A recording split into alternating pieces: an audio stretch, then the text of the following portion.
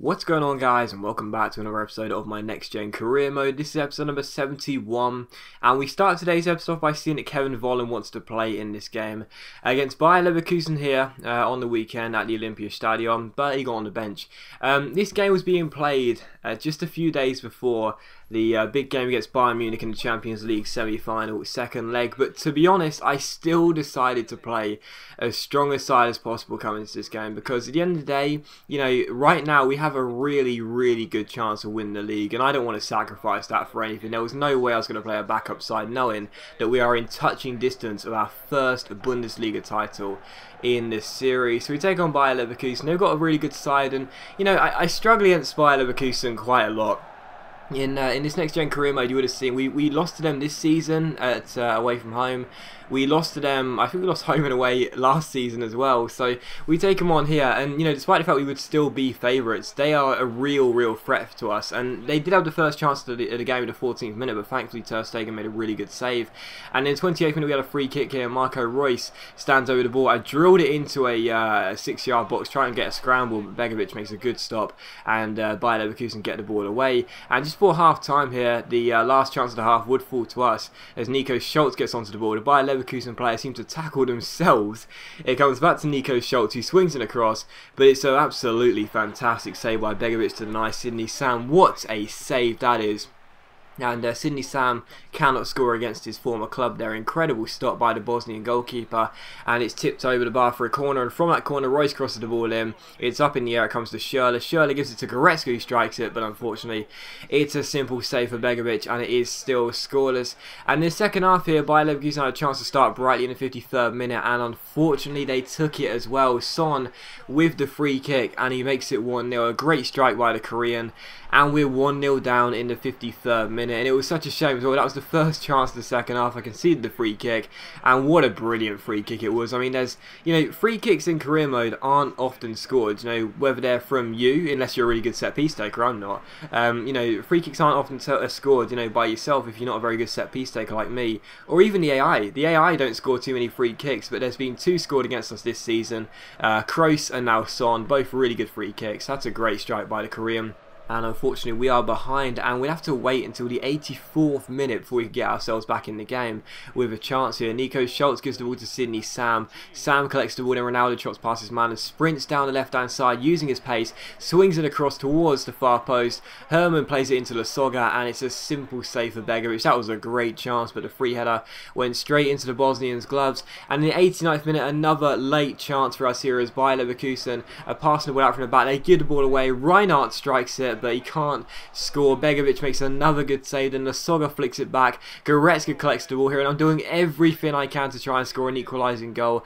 Just can't seem to break down the defence, but eventually I find space and shoot, but he goes harmlessly wide and out for a goal kick and I'm sitting there and I'm gripping the controller tightly because I know this is a massive, massive game for us. This really could see us, you know, effectively end all doubt that we'll win the title in this game had we won it, but we were losing, we were now into stoppage time, and I just couldn't seem to get myself an equalising goal, and as Herman goes down the right hand side here, the last chance would fall right at the death. Herman swings in across, Lasogga wins the header, it hits the post, it goes across the face of the goal, Lasogga can't turn the ball in, and Begovic makes one of the most incredible career mode saves you will ever see. Unbelievable stop by Asmir Begovic when it looked for all the world that Lasogga was going to blast the ball into the empty net from just millimetres from the goal line. Somehow, somehow the former Stoke and Pompey goalkeeper manages to get back up onto his feet, dive across the face of goal and claw it away from the toes of Lasogga.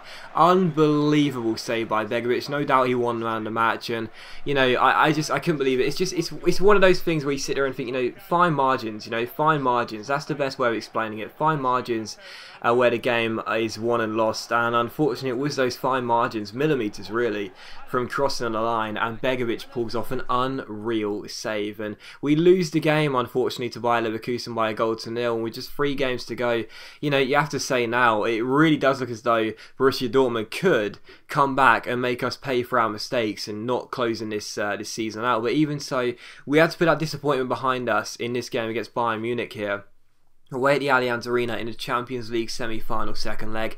We come into the game holding a one goal advantage. So yes, the upper hand is with us because of course um, we kept a clean sheet in that game as well. So we got a good chance of scoring an away goal here. But even so, despite Bayern Munich's really poor season, you still can't deny the fact they've got a really good squad and there is no doubt that they would still be fancying their chances of knocking us out and causing us Champions League semi-final heartbreak. And especially since we come on the back of losing on the weekend, that's not really good motivation, is it, to be honest? And we did have to rest a lot of players as well, because there are a lot of players that are on uh, light green and yellow stamina. So, you know, it was going to be, it was just going to be a really, really, difficult game. You know, I knew we wouldn't come into this game and just win it with ease. I knew it would be difficult, but uh, the first chance this game would fall in the ninth minute here as Bayern Munich have a corner, but they played it short.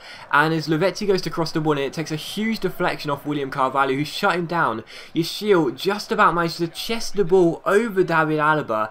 He's running clear one-on-one, and 11 11 minutes in, Yesil, the former Liverpool striker, makes it Bayern Munich nil, Hertha Berlin 1, and that means that Bayern Munich must score three goals at the Allianz Arena or they're going out of the Champions League. And again, it's fine margins. It is fine margins because the way that Yesil won that ball, there was just centimetres and inches between Alaba getting the ball away and Yesil chesting the ball over the top of him. And it was an amazing piece of skill by Yesil. A wonderful run. And, you know, I'm sorry, but Yesil on this game is such a clinical finisher. I've said many times before, pick him up for your career mode, guys. He really is a deadly striker. It's a great finish by Yesil as we went on the counter.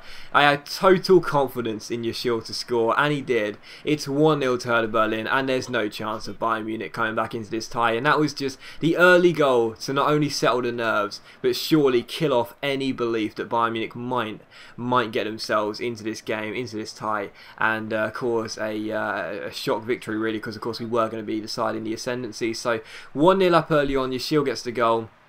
Now we could have made it 2-0 in the 13th minute. Gnabry gets on the ball and plays, plays a great ball into the box, but Hermann's header goes straight into the gloves of Akinfeev. So still 1-0, and in the 20th minute here, Rafinha gets on the ball and finds Cartabia. Cartabia gets on the ball and he gets onto his left boot, drills the, drills the ball in, but Thomas Muller in the centre can only put the ball wide and out for a goal kick. So still 1-0, and in the 25th minute, Bayern Munich get on the ball again. Bastian Schweinsteiger finds Muller who strikes it, but this time he gets it on target. However, Ter Stegen gets down to his left and tips it behind for a corner corner. And from that corner, again, Bayern Munich play it short. They always play it short. They cross the ball in. It's towards the centre. And the header does go into the back of the net. So, Bayern Munich get themselves back on level terms. It's Boateng who gets it.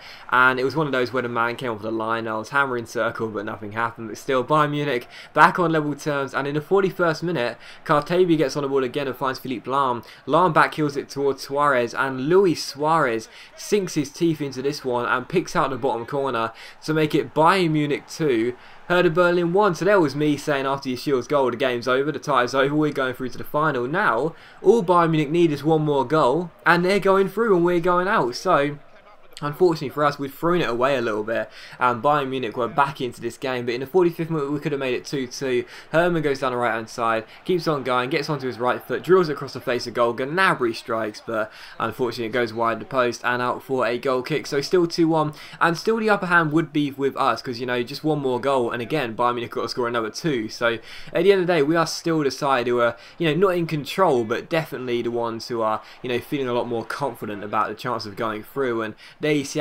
having to make another good save at 2-1. And from the corner, it's crossed in by Kevin Volland. Ginter goes for the header, it's cleared away. Only as far as uh, Her uh, sorry Robin even. It comes to Hermann even. Hermann collects the ball, rolls it through towards Reinhardt. Great chance here, but holding mid shot is well sailed by Akinfeev. And as Volland crosses the ball in, William Carvalho's header is straight at the Russian goalkeeper. So still 2-1. And in the 81st minute, well, they're at it again. Bayern Munich play a set piece short. We intercept the ball, and Yesil is running clear again. It's a carbon copy of what happened in the first half and it's the same result as well because Yesil runs clear, he makes it 2-2, we're going through to the Champions League final and again it's just fine margins, you know Bayern Munich give the ball away sloppily and again it could have been it could have been so simple for them had they not played those set pieces short Put the ball in the box straight away from the corner, you won't have the first goal being scored against you. Put the ball in the box on a free kick straight away, you won't have the second goal being scored against you, and you'll be going through to the Champions League final. Instead, they stupidly play every single set piece short on career mode,